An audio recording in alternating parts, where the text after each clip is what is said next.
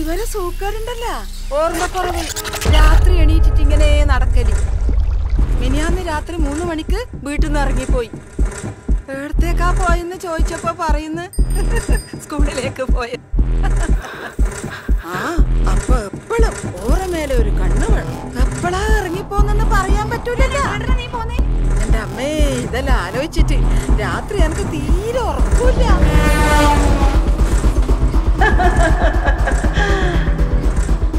കണ്ണനല്ലേ കണ്ണമാമ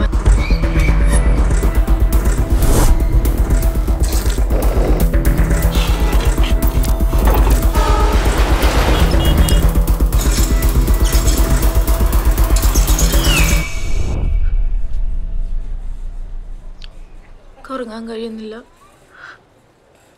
പറഞ്ഞോ. എനിക്ക് കാണണം. നേരത്തെ അല്ലേ കണ്ടേ? ഇപ്പൊ ഇപ്പം കണ്ടുകൂടാ? അതെന്തേ?